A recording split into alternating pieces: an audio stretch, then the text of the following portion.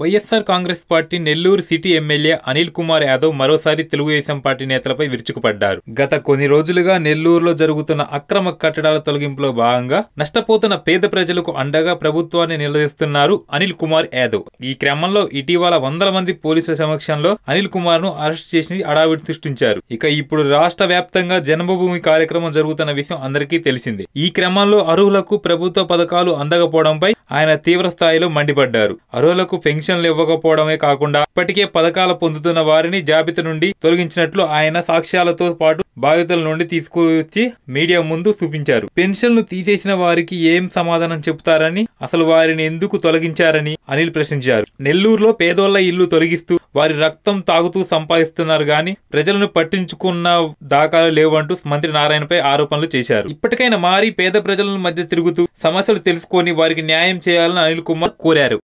ఈ వీడియో మీకు నచ్చినట్లయితే లైక్ చేయండి షేర్ చేయండి. మరిన్ని అప్డేట్స్ కోసం మా జనహితం టీవీని సబ్స్క్రైబ్ చేయడం మాత్రం మర్చిపోకండి.